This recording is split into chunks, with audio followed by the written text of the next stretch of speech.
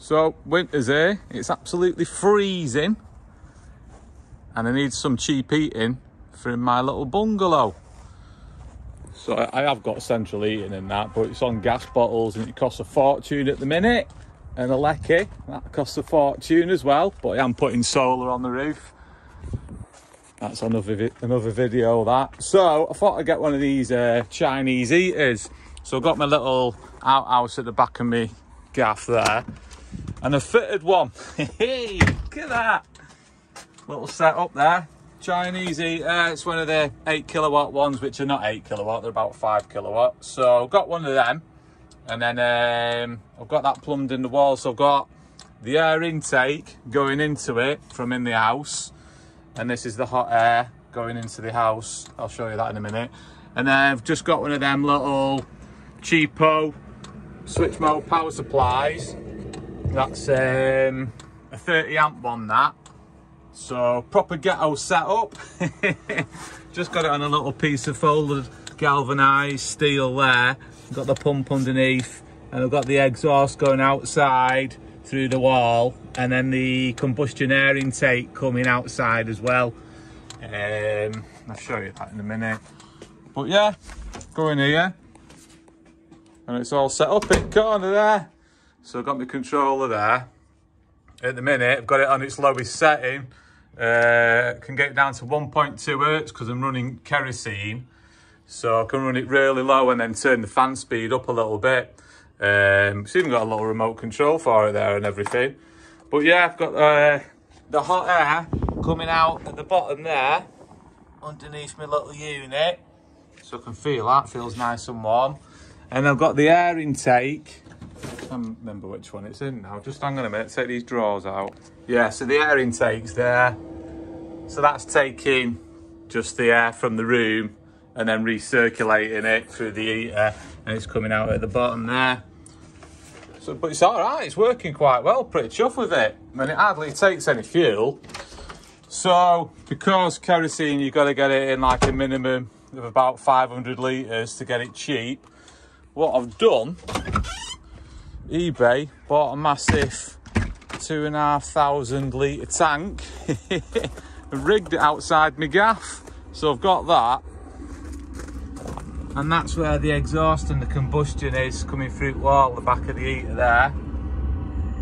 So that's all right. So I've just got a pipe coming out of that. Bit of brake pipe actually. Proper ghetto rig and that's just going down the side there and going straight through the wall into my heater. So yeah, it's working all right, well chuffed with it. Got that brimmed, got 2,000 litres in that, got it for about 72p a litre. So it's not too bad. So yeah, can stay warm in winter now.